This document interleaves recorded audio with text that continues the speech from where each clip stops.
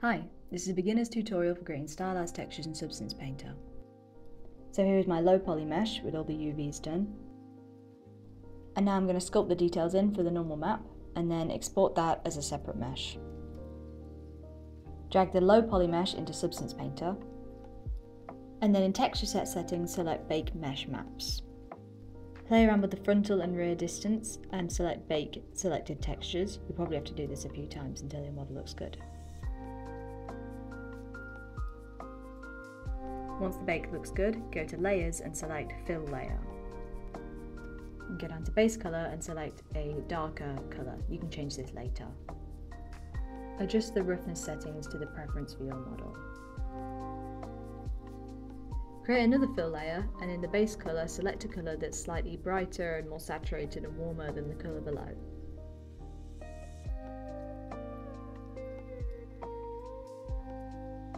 Scroll up to material and make sure you only have colour selected so that you're only affecting the base colour.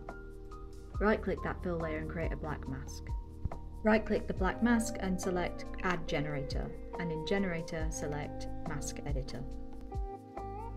This is your edge highlights layer. You're going to have to play around with these settings yourself because it's quite specific to the model you're using and the style you want, so I wouldn't copy my settings exactly here.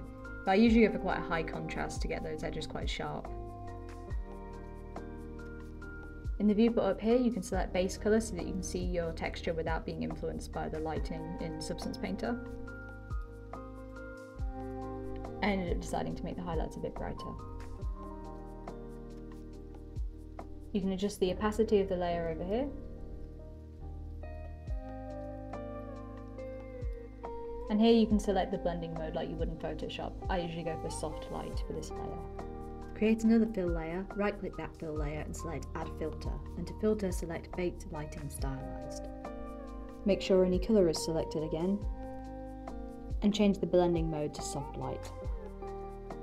Again, you're going to want to mess around with these settings yourself for your own personal style and the preference in your mesh. I usually have the edge intensity on quite high. Go to sun sky and you can start playing around with the lighting a bit more. Here you can change the direction of your lighting and you can also change the colour of your lighting. I personally like to pair two opposite or complementary colours, so a blue light and a orange sort of warm light.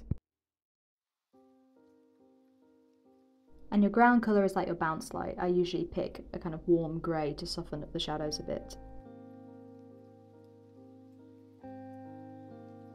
You can go back to your original colours and play around with the roughness and base colour now you've got your lighting and edge highlights in. And if you just view the base colour, you can see we already have a pretty good base here, considering we've only been making this texture for about 5 or 10 minutes.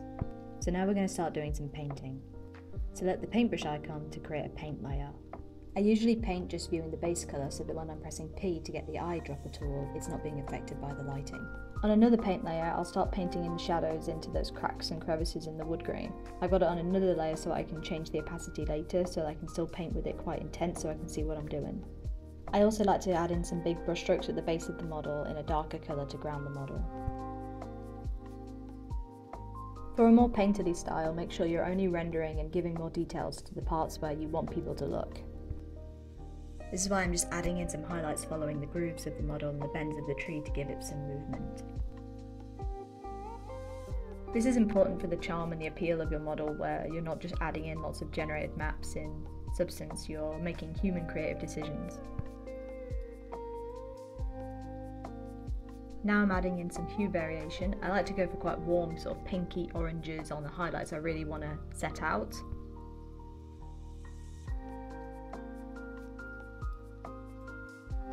And then I'll add some purples and greens to the shadows. I just like having a lot of hue variation in the model. And I just keep playing around with the opacity and the blending modes of the layers below. Go to File, Export Textures and you're done. And here it is just in an Unreal scene that I'd already made before. I think I changed the roughness a little bit, but this is pretty much just dragging those textures straight into a basic material.